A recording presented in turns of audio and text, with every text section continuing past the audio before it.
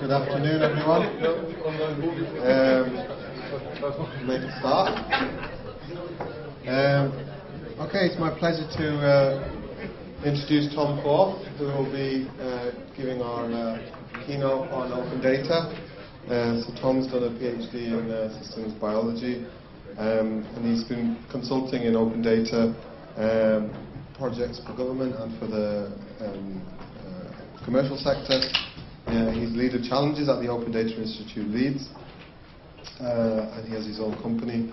Uh, Imactivate, um, and he uh, has done quite a lot of app development as well in the, in the, in the space of open data. So, Thank So- you. Thank you, Usman. Thanks, everyone, for having me.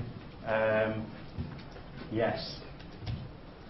Uh, I've added three slides of failures given earlier questions. So uh, it's very responsive and agile uh, presentation, this. Um, I am uh, one of the people who's made ODI Leeds happen. ODI Leeds is just near the bus station, central Leeds. Uh, the man and woman in charge is Paul and Catherine Connell. What the o- Open Data Institute Leeds is, is a franchise. The word that is used in a franchise agreement is a node, but it is a franchise of the Open Data Institute in London, which is a publicly funded body that promotes the use of open data. So uh, Tim Berners-Lee is in charge of that. Um, I assume we all know who Tim Berners-Lee is, given what we work in. So we are a private franchise of the Open Data Institute. What that lets us do is win bigger jobs, deliver more with open data, and send, sell and promote what we do all around the world. You're welcome to visit us. Uh, we've got events on this week. On Thursday, we've got DEFRA in for a whole day. There's a whole day of events on all of DEFRA's open data, which we've helped them to open up. We've done stuff recently with Highways England. Uh, we work a lot with quite a few private clients in Leeds. That includes a lot of the big sports and betting companies who have a lot of data, some of which they are willing to make open, and we can use that in some quite interesting ways. So I wanted to start with how I got here. So this is a zoom back about six years ago. I was actually a PhD student at the University of Leeds, about two, two minutes walk away. I used to grow those little things. You can see the purple rings inside what is there, a blood cell. So I was growing little malaria parasites. I was smearing them out on a glass slide, staining them, measuring them, counting how quickly they grew in response to certain chemicals that we added to them to try and kill them.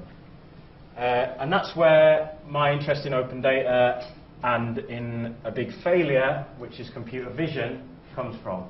So I got very, very frustrated with the fact that in malaria microbiology, still to this day, people are smearing out slides and counting malaria parasites by hand when anyone who's any good at computer vision in the last 15, 20 years could tell you that that is a done problem.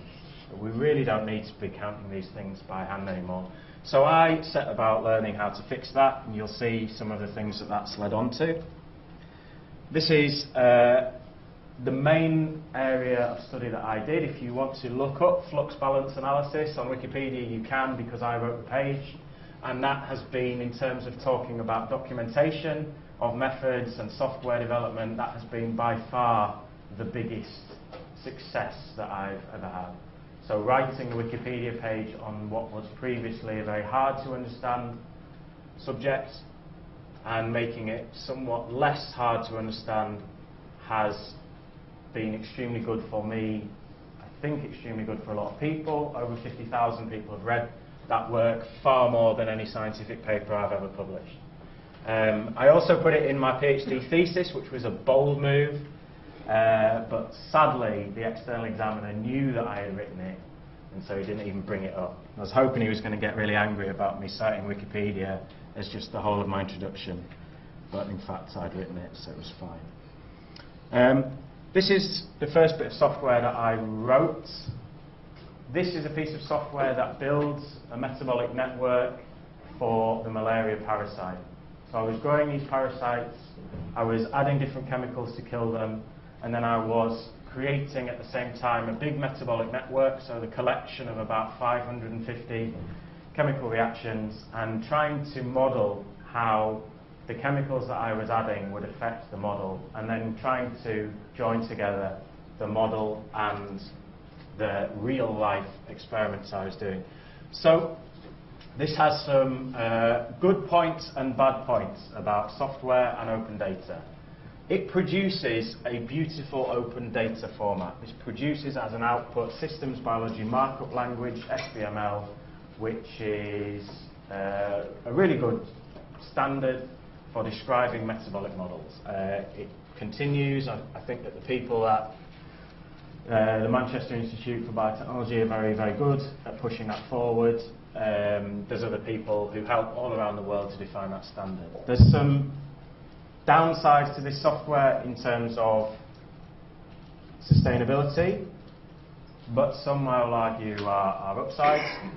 So, for example, you can see that it is written in Microsoft Access, therefore you need to have Microsoft Office on your computer. This got a lot of people really, really angry. Uh, it stopped me from publishing it for years uh, as, a, as in publishing it as a scientific paper for years.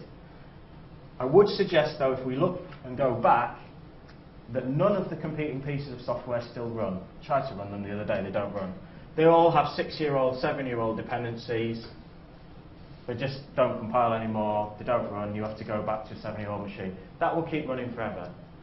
Microsoft will keep maintaining Microsoft Access forever.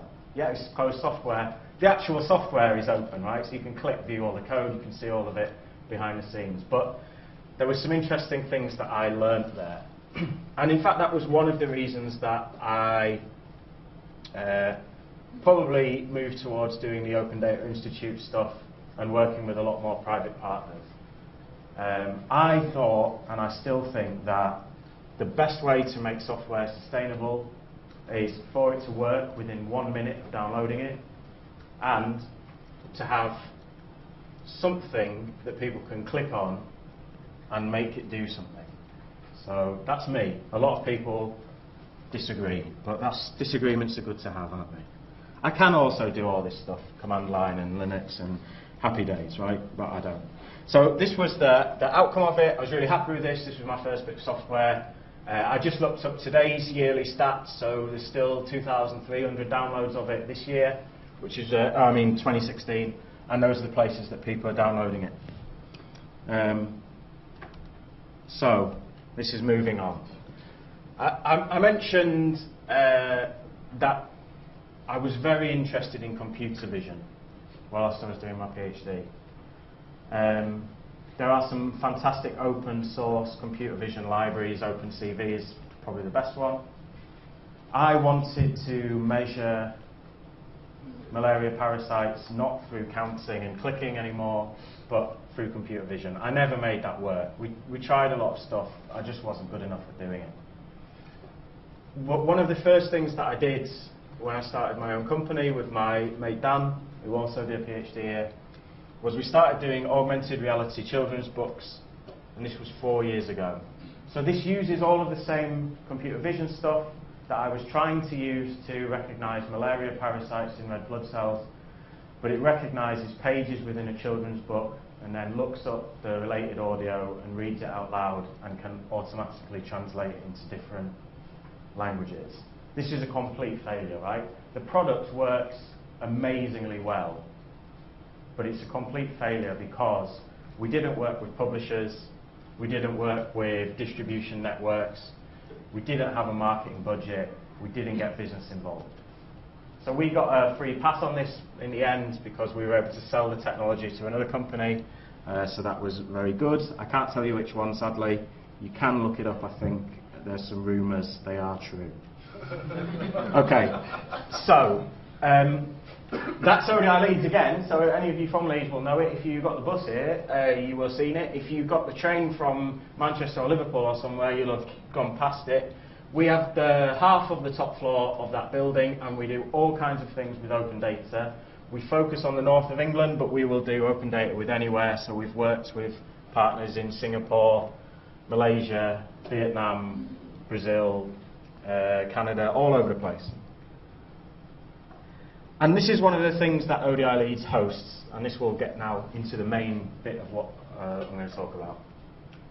It hosts Data Mill North, which started off two years ago as Leeds City Council's data platform. So Leeds City Council has a huge amount of data, and it started wanting to dump it out onto the internet. It wanted somewhere to put all of that data. At the time, we helped create something called Leeds Data Mill. That's since become Data Mill North because other places, Bradford, Wigan, Durham, Newcastle, a few more, have also started adding their data there. This is the biggest local authority data platform in the UK. We have more data sets and we have more users than anywhere else.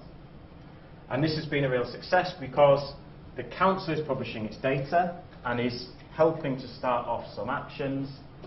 But there's also the Open Data Institute Leeds and LIDA here at the University of Leeds who use a lot of this data. So there's quite a good ecosystem in Leeds of people creating, sharing and using data in the open.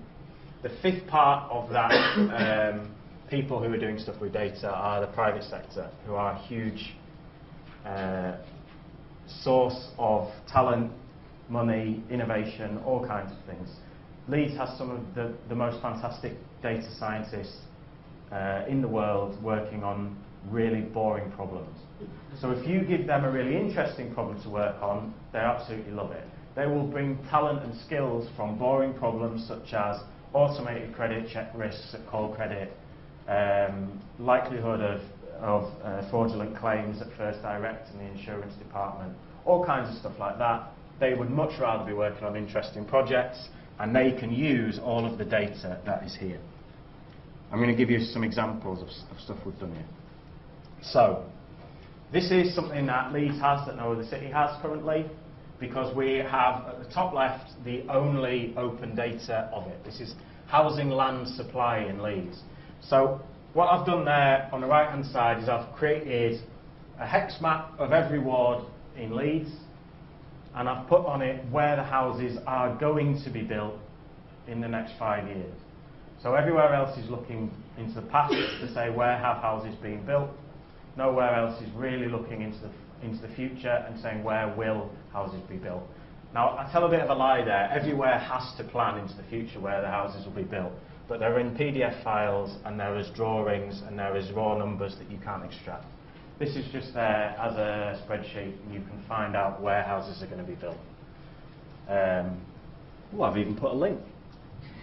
There's loads of other data sets on there, so there's about 30 data sets. It works in a lot of other cities as well. Uh, so we've got uh, Manchester, Salford, Bradford, Wigan, um, Newcastle, Doncaster we've got as well. Long story that. Here's another good data set that we have that nowhere else uh, has to the same quality.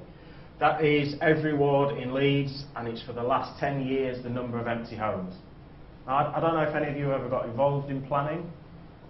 Uh, planning is one of the major things that Leeds City Council is hated for. Every local authority in this country is hated on planning. So about a third of people hate that they don't build enough homes. About two-thirds of people hope, hate that they allow homes to be built. One of the interesting things is that when you go into planning, it is a completely fact-free area for a lot of people. One of the things I've heard being involved with planning in Leeds for the last four or five years is that there are loads of empty flats, don't build any more houses, right? That was actually true. So you can see here, that's uh, the city centre. There were at one point 1,400 empty flats in Leeds city centre about 2008. The number's now down to about 400. That's a slightly old uh, graph, so it's actually come down even more. So what we're doing here is we're doing the job of a planning department, making it much simpler, making it free and open to anyone who wants to use it. The data is just being released by the City Council. We are building tools that make that accessible. The third part of that is how do we get paid? And we'll come to that because None of these things that I've shown you, not this, not this, not this next one that I'm going to show you, have I ever made any money off. But we will get to that. So this is another thing that we, we built for, for planning. We take all of the areas on OpenStreetMap, which is a fantastic open data set. It's, it's one of my favourite in the world. I think probably second, Wikidata is my favourite currently. I think Wikidata is a fantastic open data source. OpenStreetMap is, is number two for me. Um, I take all of the areas that have parking in those four cities that are used for parking and I suggest to people what they could do with the space alternatively. And this tool, it does one thing, it does it well, and it's used now in a lot of um, planning applications to say, this is why we are not going to build as many car parking spaces as you want us to build, or this is why we want to take over and convert this car parking space into housing. And again, it's powered by open data. So OpenStreetMap has the data, we build a tool that presents the data and lets people use it. Um, this is this will be the last one. I said you could go to the website and play around with these other hex maps. That's uh, income distribution in Leeds by ward. So anyone who lives in Leeds will will know it. It all makes sense if you live here.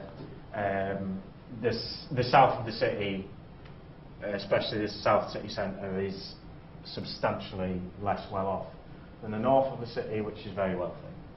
So we present this kind of information, and I think that one of the real advantages of what we've started doing with open data is that we can present information in ways that policymakers can understand. I think we've I've got loads of people talking at the moment about how there's a disconnect between facts and politics. And I think that, that people like ourselves have to accept a pretty large chunk of the blame on that, which is that we are fascinated in detail all of the time. And if I talk to a politician about data and what the data is showing them about their city, if I said even average is going to be 10 minutes of their day that they don't have.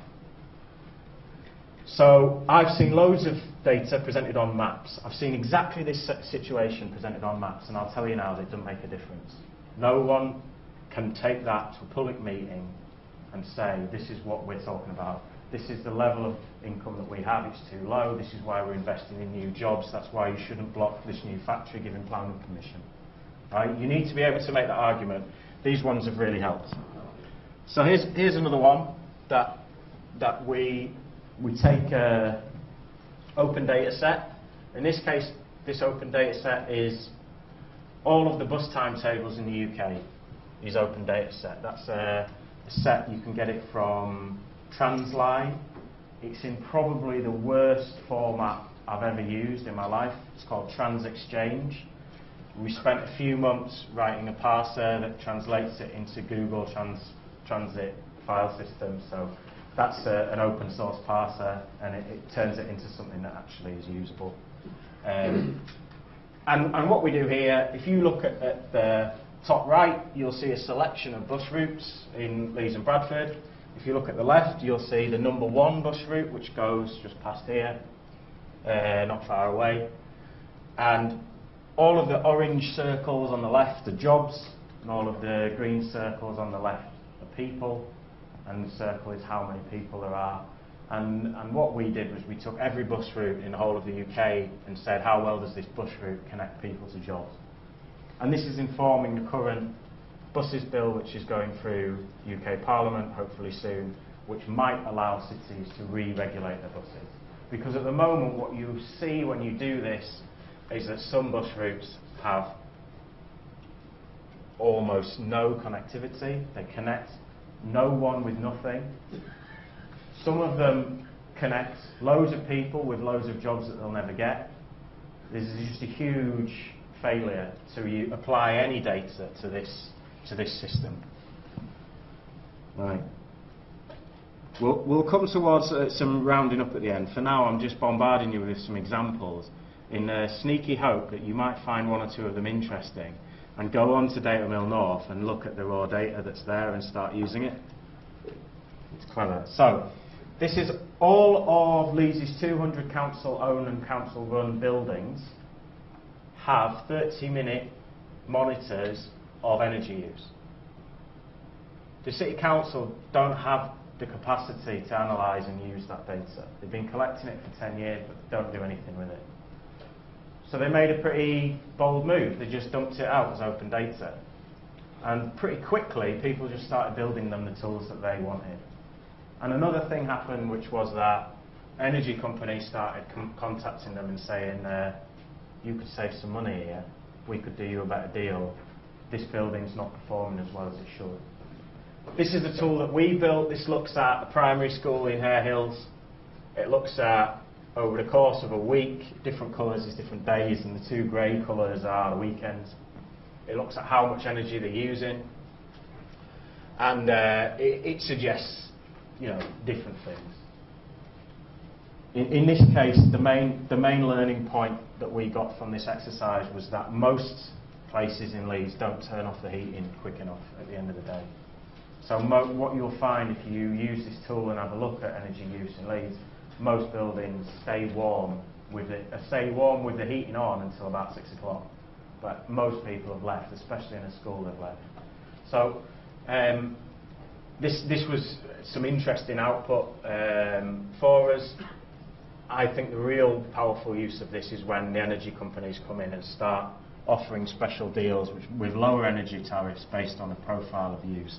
And they can even suggest um, earn back things and, uh, and so on. So you could, they will invest in energy efficiency based on what they know the energy use is. And you can then earn it back and it lowers the council's bills. Okay, here, here's a, here's a, this is to today, this is my most used, loved and hated product. So if you're in Leeds, you can download this app. It's called Leeds Bins.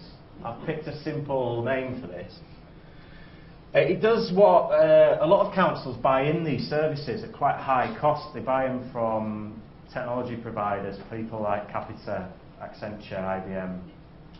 They'll buy in a suite of apps that they think does everything that their citizens want. And then they're locked into usually on a recurring contract, that kind of thing.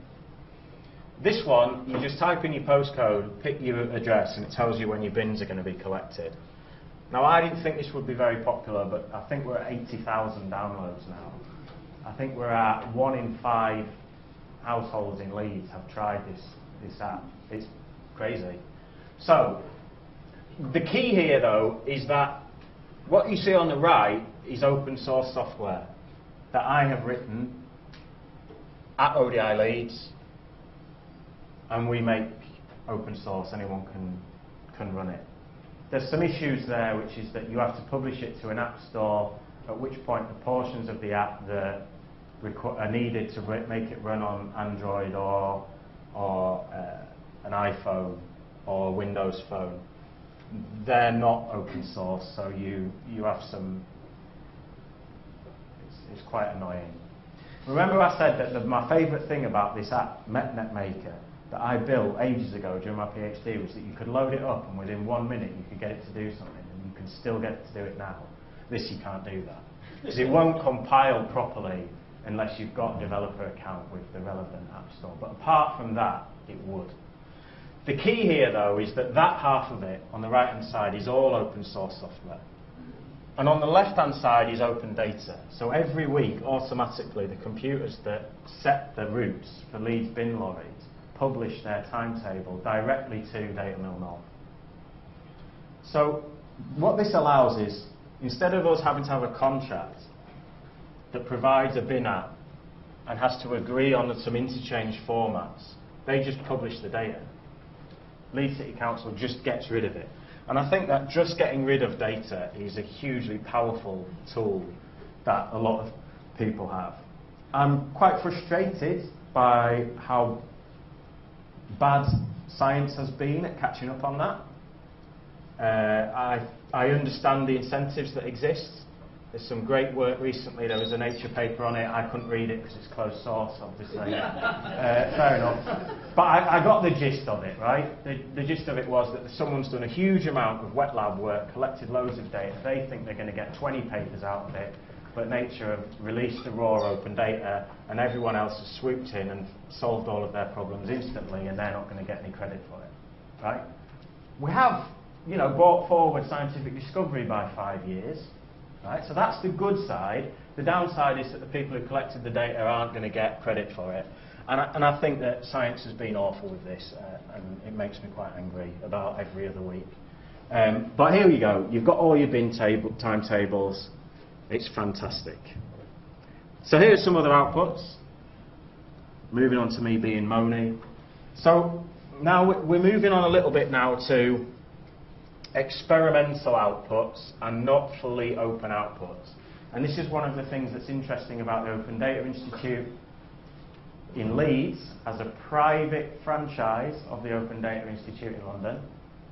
Because we don't take any public money, we would take it if they would give it to us, but um, national public money is not forthcoming for us.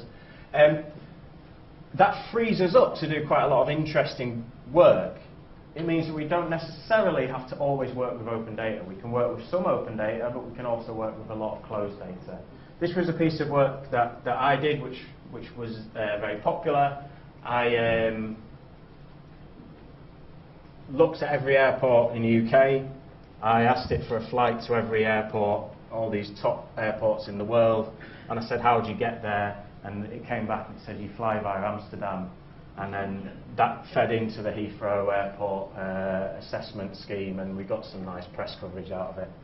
Um, obviously, the Google data that, that tells you this is closed data.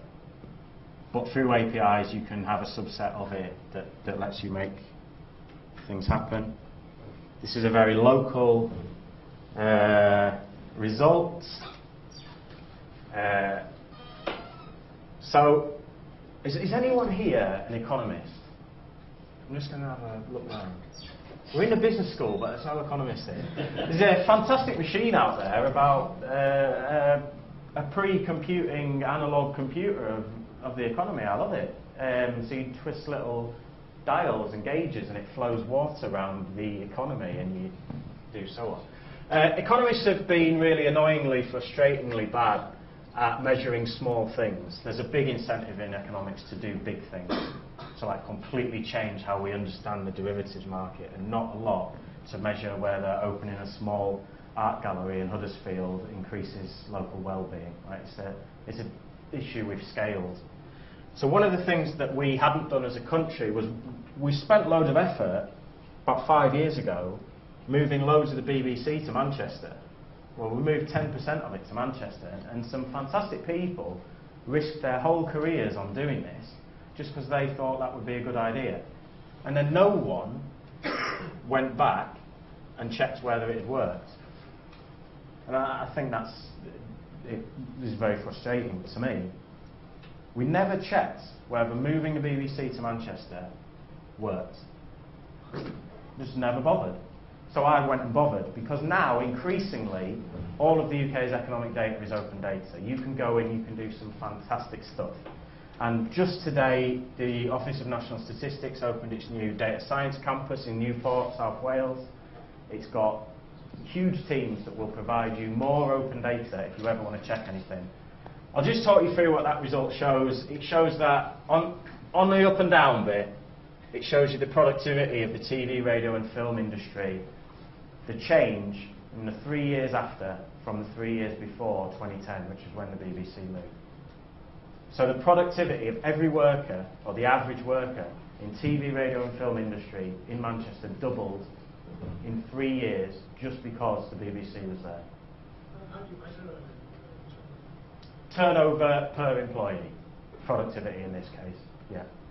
Uh, productivity is a real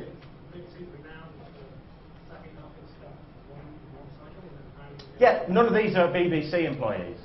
These are just associated sectors. This is like uh, a bloke who has a production company uh, half a mile away in Salford. Yeah. So we actually take out the direct effect of the BBC. It's just the impact on associated industries within the city. And that's because the BBC outsourcing. Yeah. Yeah.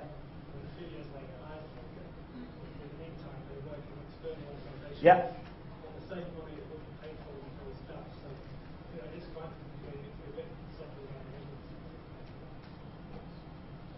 Isn't that what I'm showing now? I think that's what I'm showing. I'm showing that that process of the BBC squeezing people out and taking them back in doubles the productivity of the average worker. I mean, having the BBC on your CV is fantastic. I mean, I, I could do the same. I, I could get squeezed in and out of the Office of National Statistics if I wanted to, and that would push up my salary nicely as well. Um, so I think, but this was a this was a nice um, result. And as I say, you can you can get all the data now. It's all open data. On, this is my personal uh, love affair here. Buses. I love buses. Uh, absolutely love buses. All the bus data, live, live data, is available as semi-open data via Transport API. You can use a limited amount of all the bus timetables and all of the bus tracking data. Uh, you've probably got apps that tell you how late your bus is or where to get the bus from. We use this now to track and create just a single number of delay. This was this morning in Birmingham. Uh, I cycle rather than get the 15 bus for obvious reasons because it was 42 minutes delayed this morning. So I wouldn't have got here on time if I didn't. Um, we also do Leeds. Leeds has slightly better buses just because it's a smaller city. Right? There's still, if you look at that at half past five, and I've got a website that shows all these, then uh, they're awful. Which you probably know. Okay. Now we're, we're shifting on from, I think every, every example that I've given here has used open data to do something. And, and the cool thing there was that I've never had to ask permission to do any of these things. I've just done them. This is now moving on to creating open data. So the more interesting part, the bit that's a bit more similar to what uh, Usman talked about earlier. So this is a website called GaugeMap. Uh, it shows all of the open data from DEFRA's flood monitors all around the UK. Um, that's uh, the River at Armley this week. I guess it rained a bit on the 22nd. Um, this was quite useful when there was a lot of flooding going on in Leeds. It's useful all around the place. This is a great example of a tool that is much better than the one that the government provide, but relies on the government's data. The problem with this tool is a problem with the government's data. If you look at, uh, that's a, a, map of Leeds and Bradford. Uh, the green dots are all of the flood monitors that, that DEFRA and the Environment Agency run and publish open data from. There's none in Bradford, and yet Bradford Beck does cause quite significant flooding at times. So it's, it's largely a surface area and a runoff issue, but Bradford Beck causes some serious flooding, and there isn't a flood monitor there. So, if we're in Leeds and we think that's not a good thing, what can we do about it? And the answer is that, first of all, we can join and set up a free and open network for the Internet of Things. So there is a technology called LoRaWAN, which is long range radio technologies, very low power, very long range, very slow, two kilobytes per uh, per hour. Sorry, two kilobytes per hour. You've guaranteed one delivery per hour of a packet, but you can run a thing for years on a battery, and and that it works 10 kilometres from a base station. So we started working with Things Manchester, who are in Manchester, and Things Calderdale, who are in Calderdale. And we have become Things Network Leeds and Bradford. And what's great about the Things Network is that it works to a specification that's set in Amsterdam by the Things Network. You can join lots of different components to the Things Network. We have one set up in Leeds and Bradford. You can receive signal here and send signal to the internet from one of these tiny devices. And so what we have done, that is a flood monitor. It's a river level gauge. So you can see a little aerial at the top there, that connects it to the Things network. There's a ultrasound echo distance measurer that fires out the bottom. It runs on a battery, will last for five years like that, so it doesn't need plugging in, which is a, a big cost saver. Total cost for that is about £300. For the Environment Agency stuff, a fixed cost of installing a full-time river monitor is tens of thousands, probably hundreds of thousands. And that produces data now. So we, every 30 minutes, we measure the height of two points in Bradford Beck. It's all available as open data. Uh, we're going to install three more. You can go back and forwards in time, and soon this data will be taken up and used by the flood map that I showed earlier. So it will be part of this national system on GaugeMap and also the flood network. And what's cool about that is that I showed you this device. This device is open source hardware made by Flood Network in Oxford. So if you wanted, you could go and build your own one of them, you could modify it, you could change it. It's much cheaper to buy one off Ben, because he knows what he's doing. But you could help him out and, and test it if you want. The network that it connects to for a gateway, which is just looks like a, an internet, you know, your home Wi-Fi router, but with an antenna that big on. You can just put that in your own home. That costs about £300. And so, in that sense, for a few thousand quid, we've created a system that does exactly what something 10, 100 times more expensive would do. And there's some real data, which is pretty rare in IoT things. I don't know if you've ever gone to a, a, talk that's been endlessly going on for the last five years about how I, IoT is going to change everything. I, I've heard that IoT is going to change everything so often from people who don't have one single device, and they just seem to sell consulting on it. This is the next thing. This is where my uh, failure turns to success. So my, my failure was in uh, computer vision because I just wasn't a good enough programmer to do computer vision. But now I am. Uh, so, on the left is. Uh, do you know what? There's a Microsoft person here, isn't there? Hello. Yeah, that's a Windows 10 UWP app. Thanks very much. Um, that is uh, an old Windows 10 mobile phone. um, They're really cheap to buy old Windows 10 mobile phones because nobody wants them. but, but, but they are very good value for money.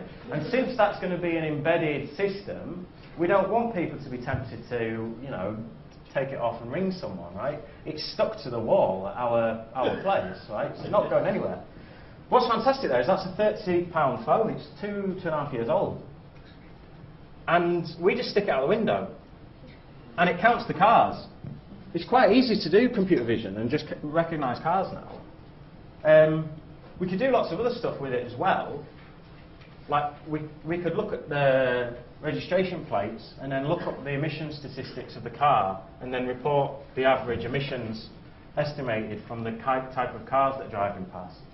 Uh, we can't do that yet because the DFT's uh, number plate lookup system is really bad. Uh, but they will be fixing it because they say it already works and it doesn't. But this is a, this is a good example. So that, that's installed at ODI Leeds. You can come and have a look at it. It uploads to this website, and you can see for days, weeks, everything, what the traffic is. Now, the reason we did that was because when Leeds City Council dumped out all of their data, which I was talking at the start, they said, we've got so much data, we don't know what to do with it. So whatever is safe, we're just going to get rid of and let you see what we can do with it. We went, well, what about congestion?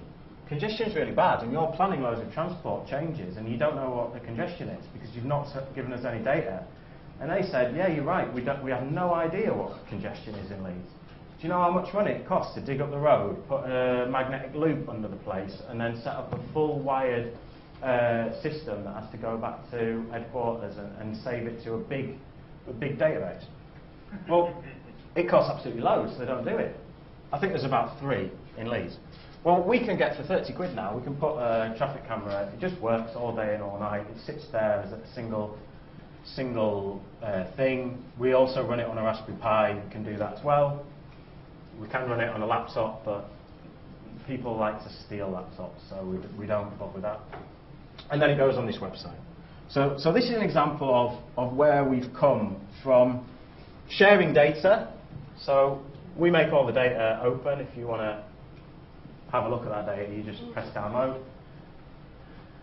To collecting data ourselves, which is here, and doing computer vision, which I've learned how to do. Which brings us to the end, near enough. So uh, one of the, the things that lets us do what we do are these good people here, and I will come back to them with their names bigger because otherwise I couldn't be here. So the, the number one driver for me of all of this open data, Internet of Things, sharing, open source, is, is the idea that people have to work together on things. It's not really for me, I mean, I, I, I love the building the technology side of it, but I've also seen a lot of technology just not get built because it, it was, you run out of inspiration to build something pretty quickly if no one's interested in it. What people are interested in is working together. Open data is a good way of letting people work together because it means that you can work together with loads of other people without ever meeting them. And I think that's pretty good. A lot of people hate that. They go, no, no, we've got to keep people at the centre of everything. I'm like, really? I want meetings, right? I like meetings, I like people when they're needed, which is like a few hours a week. But working together is much better when you just download their spreadsheet and you just get going, right? So we think that open is the best way to do that. Um, I'm not uh, a zealot when it comes to open. I will work with open and closed systems. Open's good, you can work with more people. Closed good, you can sell it for more money. And that comes to the last bit. So, who are our sponsors? At ODI Leeds, the sponsors are there, including the University of Leeds. Uh, it's a, about a three-way mix of private companies, so that's Arup, KPMG, BJSS, who are a massive software company in Leeds, who no one has ever heard of, and I hadn't heard of them until they came and talked to Paul and said, can we help you to uh, do ODI Leeds? They build the data backend for a huge amount of the NHS.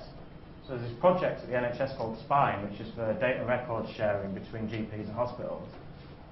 Uh, a large British telecom company won a contract to, to yeah, well, I would, I would never name them, but a large British telecoms company won a contract to deliver that. They couldn't do it. It was a massive front page, billion pounds of wasted money. BJSS come in, used loads of open source software, loads of open source tools, proper databases that work, and fix the whole thing. So uh, BJSS are fantastic, and uh, they, they really help us out. Bloom are an advertising agency. Why an advertising agency? They are some of the best people with data that I've, I've ever met. They do the audience insight for X Factor here in Leeds. They do the advertising for the Premier League here in Leeds. There was a, uh, they do the voice as well.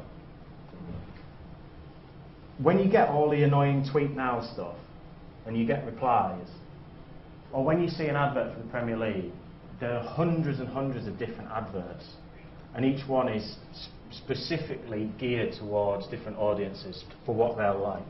And these people are doing stuff with data that is, is really, really advanced. And at the end, they make it look good, which is quite good. Uh, we've got other organisational partners. These are people that we've worked with. And the last one, which uh, is someone that, that this is just to elicit your hatred, really. Um, we're now working with Adobe because they have decided that PDFs are a really good idea. Yeah.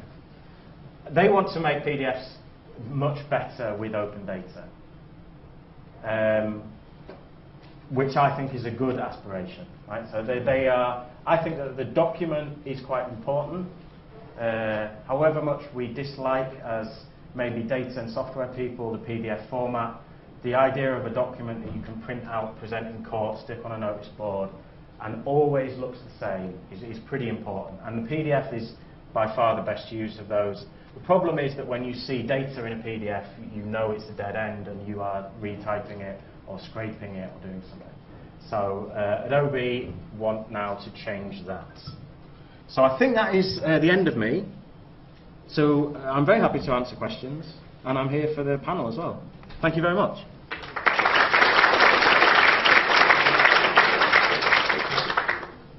Um, I'll allow maybe one or two questions, and then we need to move into the panel.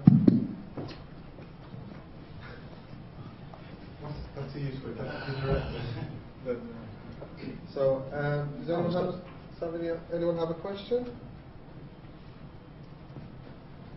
Uh, there's a question. Just a quick one. How, how many of those uh, car cameras do you have? Currently three, and they crash every 24 hours. You never tell the truth in a presentation. Yeah, there's, there's a memory leak that we can't quite fix, but the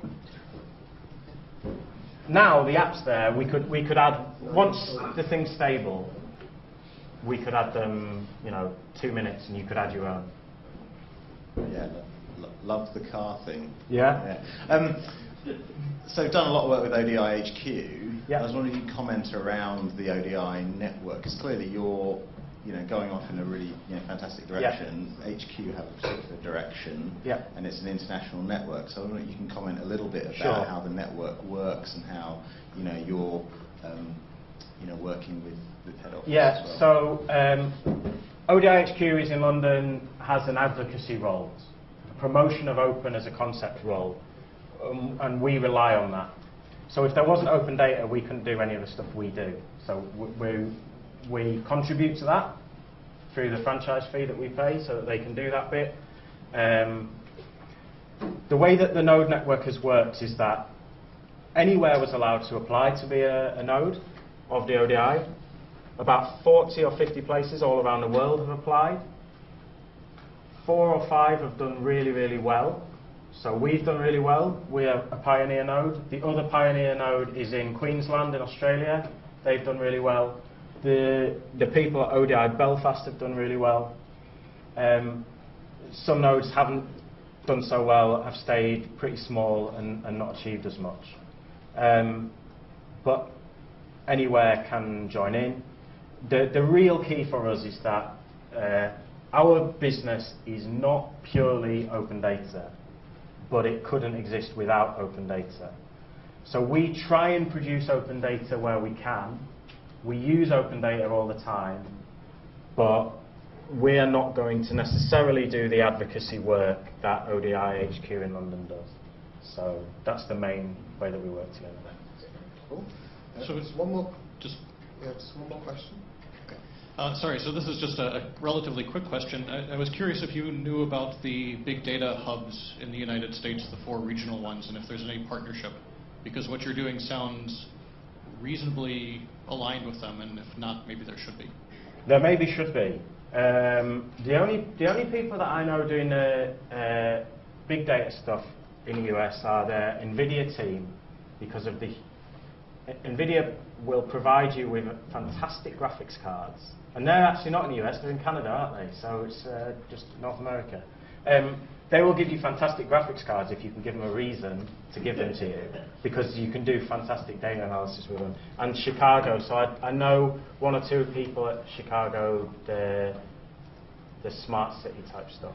But no, I should ask you about where they are and what we should do, and, and there's because the idea is that once we've built the tool and once there's some data, my dream and I, uh, an unpopular opinion is that the government should do a lot less of setting standards in open data. That different players should work to their own standards at first, and then at some point the government should come in and demand that they sit together and say, look, look at your, your rubbish standards. They all look kind of the same, don't they? And you've all built these tools. Wouldn't it be better if you just used one? And that's, uh, we've been trying to get the UK to think much more like that. That's how the Netherlands works on setting data standards. We would do really well to, to copy that. Um, so yeah, I'd love to work with the, the US places that have led on this. If we can just copy all of their data structures, which they would always be happy to let us do, then we can copy all of their tools. Again, everyone's happy. It would be fantastic. I don't want to have to write more software than I need to. Thank you. Thank you.